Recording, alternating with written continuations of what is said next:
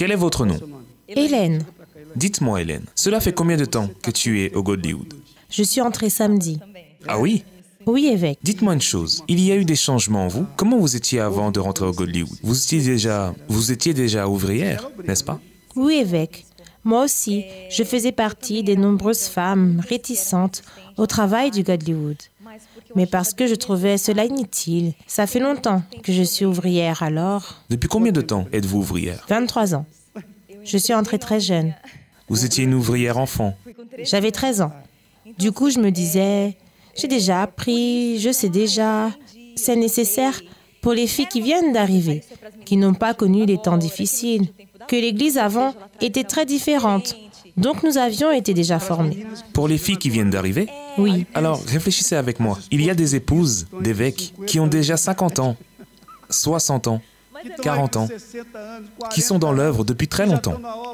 Elles ne viennent pas d'arriver. Non. Mais elles sont tout encore dans la foi. Amen.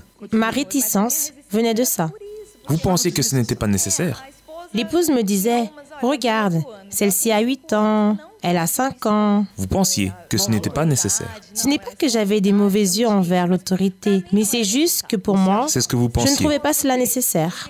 Oui, parce que moi, je n'avais pas le temps. Je suis mariée, j'ai une fille, une entreprise. J'étais désorganisée dans mon emploi du temps. Je n'avais pas le temps pour aller à l'église, je n'avais le temps pour rien. Comment allais-je entrer dans un groupe en plus? Le Godlywood n'est pas un groupe de plus.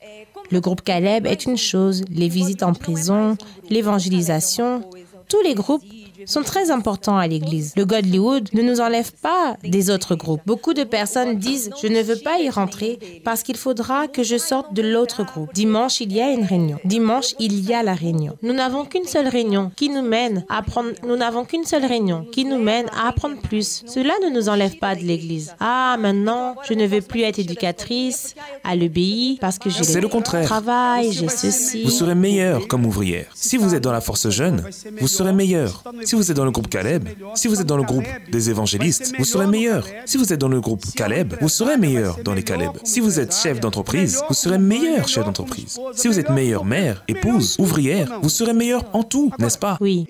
Quand est-ce que vous avez compris que vous n'étiez pas si parfaite et que vous aviez besoin de changer? J'étais aussi réticente vis-à-vis des photos, le fait de faire des tâches et de devoir les montrer à quelqu'un. Je me disais, je montre à Jésus, je n'ai pas besoin de montrer aux autres. Dieu sait ce que... Dieu sait ce que je fais. Je disais à l'épouse que je n'avais pas le temps. Elle me répondait, Hélène, tu n'as pas besoin d'avoir le temps parce que les offrandes sont liées à ta vie spirituelle, au fait de prendre soin de toi et de ta famille. Alors c'est notre quotidien. C'est comme ça que j'ai commencé à faire les défis. Je suis entrée dans le rush et du premier défi jusqu'à aujourd'hui, c'est un changement tous les jours. Qu'est-ce qui a changé? Aujourd'hui, je n'ai plus honte de me faire belle, de poster des photos, ni l'orgueil que j'avais en disant que je n'avais pas besoin d'aide. Ceux qui disent ne pas avoir besoin d'aide sont ceux qui ont le plus besoin. Oui, C'est la réalité. Je n'ai jamais eu de sérieux problèmes avec mon mari et ma fille, mais je n'avais pas le temps de m'occuper d'eux. Du coup, chacun arrivait à la maison et se débrouillait. Parce que ma fille s'arrangeait d'elle-même. Chacun faisait sa nourriture. Je la faisais, mais je laissais ça là. Aujourd'hui, non. Aujourd'hui, je prends soin de ma fille, de mon mari, de la chienne et de la maison.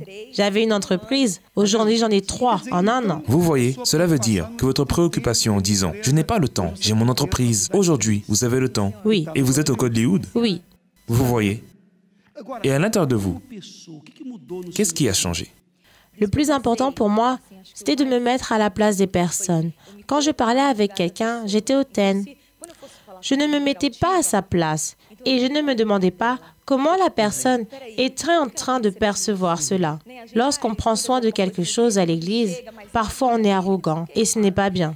Donc j'ai appris à me mettre à la place des personnes et à regarder leur côté. Je veux traiter ces personnes comme j'aimerais qu'on me traite. Parfois un bonjour, un sourire, un câlin. Moi, je n'aimais pas les filles qui faisaient des câlins et des bisous. Aujourd'hui, non. J'aime. Je fais des câlins.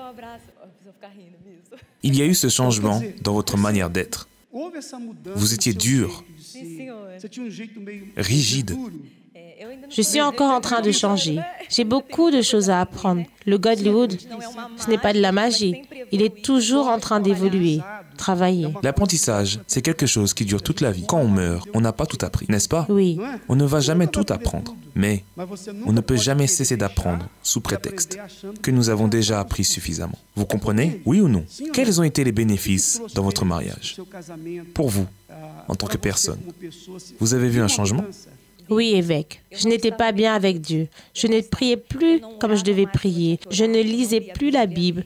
Je ne faisais pas mes vœux avec Dieu comme je devais le faire. Tout cela a changé. J'ai ouvert ma vision pour les choses de Dieu. Vous êtes plus spirituel aujourd'hui? Oui, tout à fait. Moi qui pensais que je n'avais pas le temps et que ce temps me donnait une quelconque expérience, ça m'a apporté plutôt un bagage, mais que j'utilise aujourd'hui.